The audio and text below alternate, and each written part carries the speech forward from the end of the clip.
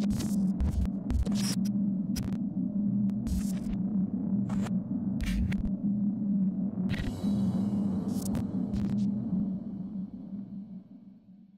What is up guys, I'm Daddy Gamer Fred and welcome back to another episode of Pokemon News Daily, a daily Pokemon show where I go over Pokemon news spamming across all the Pokemon games, including Pokemon Ultra Sun and Ultra Moon, Pokemon Quest, Pokemon Go, and of course, Pokemon Let's Go Pikachu and Let's Go Eevee games. Today is Tuesday, June 26, 2018, and we have a ton of news, like always, to go over. Let's jump straight into it. Now, kind of branching off of yesterday's news about the Kanto field research being added to the game, the official Pokemon Go app added a brand news news article to the game, and let's read it directly from the Pokemon Go in-game app. It says, New July research task featured Pokemon originally discovered in the Kanto region. It says, are you ready for more field research tasks and helpful rewards for the month of July? On July 1st, prepare for a brand new set of field research tasks focusing on the Pokemon originally discovered in the Kanto region. We knew this. This is the information that was tweeted out yesterday. It says complete these tasks and you may be able to encounter Pokemon such as Pikachu, Ditto, or Eevee. If you collect enough stamps to earn a research breakthrough, you have an opportunity to catch Snorlax that knows Body Slam. Now, let me know in the comment section below if that's an exclusive move for this Snorlax, because I, again, I'm one of those people who haven't caught a Snorlax, so I'm unfamiliar with, with its move sets. And also, let me know your thoughts on the confirmation being Snorlax. Do you think it's anticlimactic that after we got Zapdos, Articuno, Moltres as field research, that now we're just getting regular or Snorlax? Let me me know your thoughts on that in the comment section below. I know I'm, I'm one of those players who's going to appreciate this because, again, I have yet to capture Snorlax, and I don't know how rare Snorlax is. It must be pretty rare if I have yet to capture it, and I've been playing when I was in New York. I was playing when I'm out here in Switzerland, and I've yet to capture a Snorlax, but yet to even see one. I'm pretty hyped to add Snorlax in my Pokedex, which is pretty cool, but kind of sad that we're not having a Pokemon of legendary status inside of these field research breakthrough boxes. Now, it does note that if you haven't catching the legendary ice flying type Pokemon Articuno, work your way towards a field research breakthrough this week before it goes away. So get ready for a fun mix of tasks next month and go. Now, again, I'm one of those people who is praying and hoping that we got someone like Mewtwo or something like that on the field research box this month of July. I'm kind of hoping they filter in the legendary dogs. Maybe next month they start the legendary dogs, but who knows? I kind of want this field research box to be my dedicated way to get legendaries. It's kind of cool that they added the legendary birds. Hopefully they do add more legendaries in the future. I don't think this Snorlax is the end all be all, meaning that we're not gonna get exclusive legendary Pokemon this way. I do think that this is them just trying the system out and trying out ways to filter out new Pokemon with exclusive moves, for example, instead of just having it all featured in one Pokemon Go community day.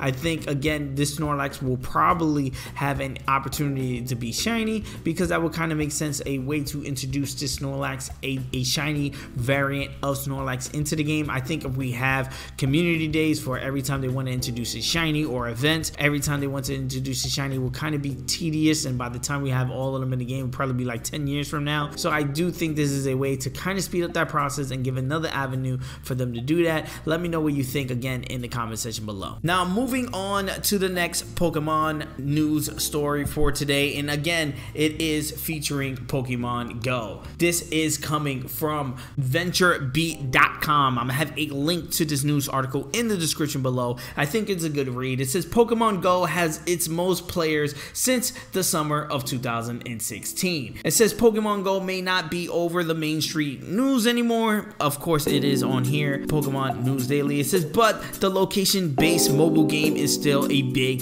hit. The augmented reality title has its largest player base since the summer of 2016, which was during when Pokemon Go launched on July 6. According to a news report from the market key analyst firm Super Data Research. We asked Super Data Research for the specific numbers for both periods and we'll update this story if we get those numbers.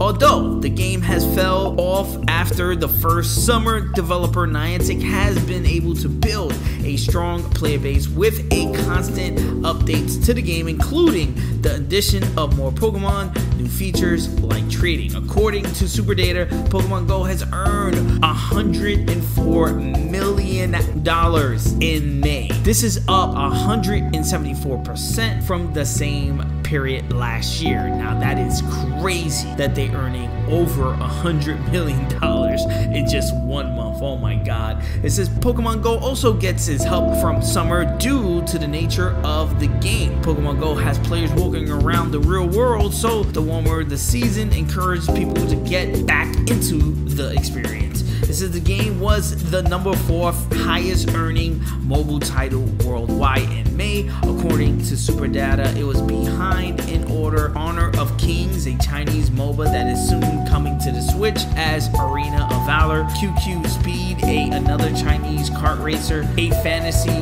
Westward Journey, another Chinese mobile online role-playing game that makes Pokemon Go the top non-Chinese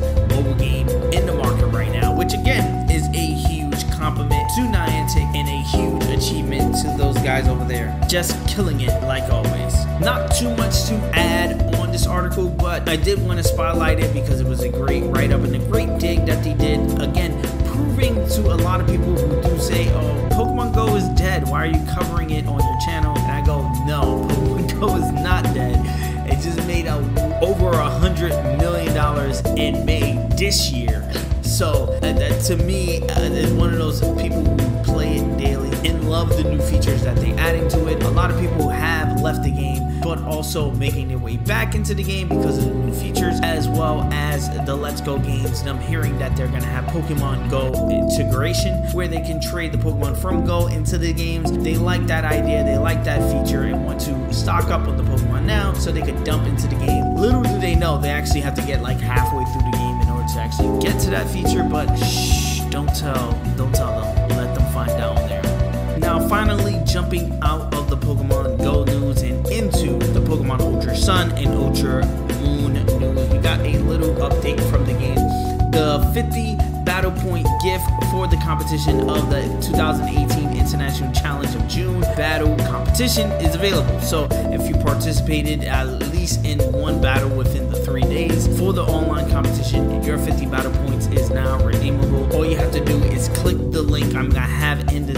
description. Shout out to Serebii.net for actually having this link and the Pokemon Company for whatever reason not even having the link up on their website.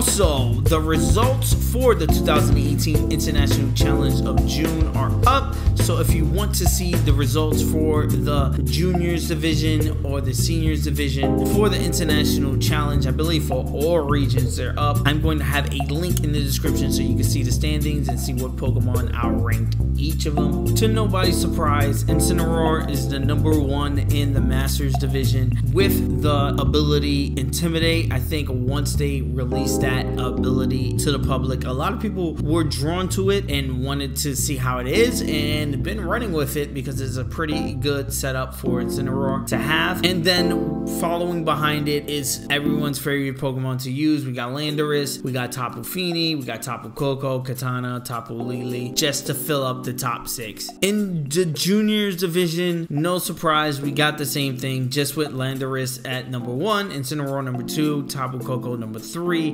number four, Metagross making his way up to number five, and Tapu Fini making his way up to number six. Again, I am not the battle guy. Don't come to me for battle strategies. I'm not doing that here. I'm just kind of going overing it and reviewing it for the news for today. Now, that's going to be it for the Pokemon news today. Let me know your thoughts on everything I covered in the comment section below. Like always, guys, I'm Daddy Gamer Fred on Instagram and Twitter, and you guys can bring the conversation there. I'm the American Gamer in Switzerland right here on YouTube, and yes, I'm to be doing a ton of videos just like this one. So if you enjoy, please hit that subscribe button. Also, hit the like button. It does help me out a ton as far as growing the channel is concerned. Ring the bell if you want to be notified on the next time I drop a video. Peace. I'm to see you guys on the next one.